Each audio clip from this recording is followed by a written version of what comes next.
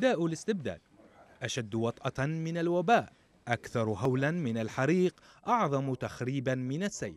داء تحذر ليبيا اليوم من الوقوع بشباك سمومه التي لا تبقي ولا تذر.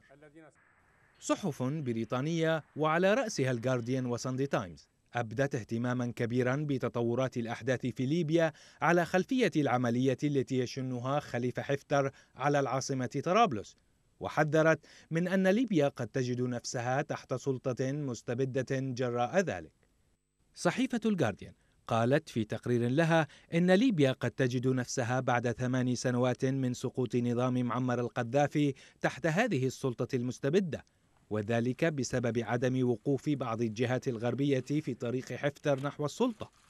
الجارديان بينت أن الدول الغربية لا تساعد في إرساء الديمقراطية في ليبيا بل تنظر إلى الأزمة في البلاد من ناحية دور طرابلس في وقف موجات الهجرة ومكافحة الإرهاب وإنتاج النفط. وذهبت الصحيفة أبعد في وصف التخاذل الغربي في حل الأزمة الليبية قائلة أن مجلس الأمن التابع للأمم المتحدة متردد بإصدار بيان يدعو فيه قوات حفتر إلى وقف زحفها نحو طرابلس. ورأت الصحيفة أن ذلك التردد ناتج عن الدعم الذي يتلقاه حفتر من بعض الدول العربية ومن بعض الأطراف في الحكومة الفرنسية.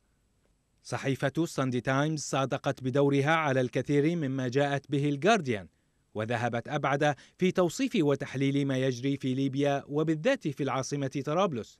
الساندي تايمز قالت في تقرير لها إن الجنرال حفتر الذي وصفته بالمارق وأمير الحرب الذي دربته الولايات المتحدة وتدعمه روسيا يغتنم فرصة حصار طرابلس لتحقيق أطماعه في الوصول إلى السلطة.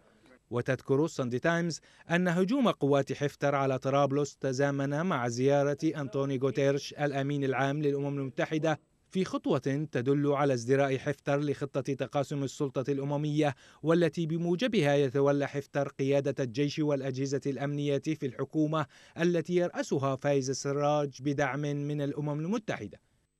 لكن حفتر قدر أن خصومه في حالة ضعف كبير ورأى أنه لم يعد ملزما بتقاسم السلطة معهم وبذلك يمكنه الاستيلاء على الحكم لوحده. ما جاءت به الصحف البريطانية اليوم يؤكد الحجم الكبير للأطماع الغربية في ليبيا وبالذات في نفطها.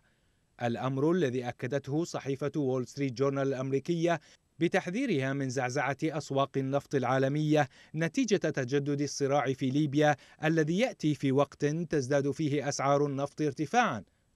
الأمر الذي يقوض وكما تقول الصحيفة خطط الولايات المتحدة لخفض شحنات النفط من إيران وفنزويلا إلى الصفر.